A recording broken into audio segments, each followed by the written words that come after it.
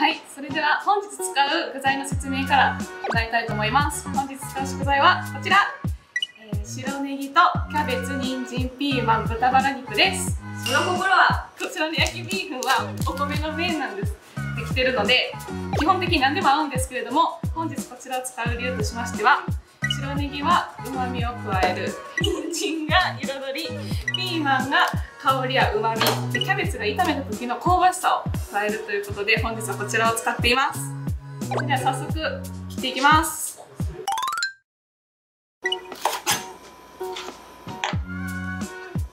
このように切っていきます。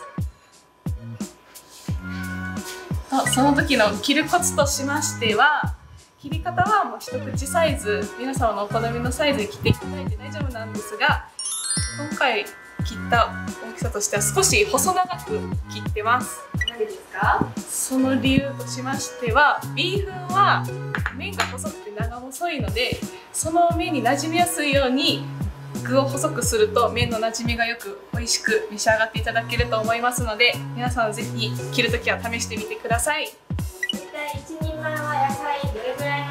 か？そうですね。こちらは合わ大体1食あたり 100g ぐらいなんですけれども大体これらを合わせると中茶碗もりもり1杯ぐらいになりますのでそちらを参考にしてみてください。次は炒め作業に入っていきたいと思います。それではバトンタッチです。はいでは早速作っていきます。火力は中火で大丈夫です。で先ほどの野菜と別でお水とサラダ油用意してます。サラダ油は大さじ2分の1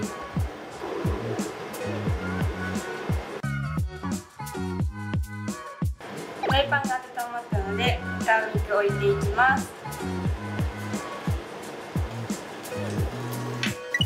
調理のポイントはお肉の上にビーフンを置いてその上にお野菜を置くことで上から野菜の甘み下からお肉の甘みっていうダブルでサンドされてビーフにうまみがたくさん閉じこもるのでそういったやり方にしています。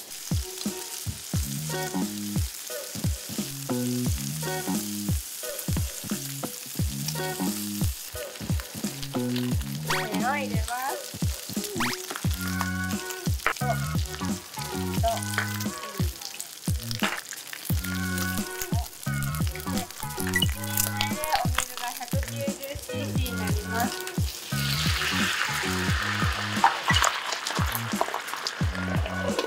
蓋をして3分間待ちます。はい。はい。今水で 190cc 入れられましたけど、はい。二食後の時はその倍の量でいいんですか？ではこちらをご覧ください。はい、3分経ちました。わ、できた。めっちゃいい匂いしますね。はい、ではこれで完成になります。あ、あの味付けしないんですか？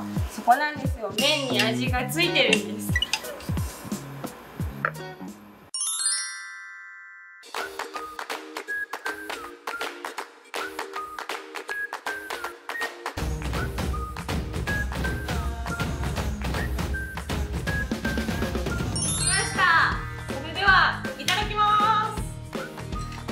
具材が細く切ってるので麺の馴染みも良くて美味しそうです。いただきます。とても野菜とお肉がビーフンと合っていてとっても美味しいです。簡単にできるので皆さんもぜひ作ってみてください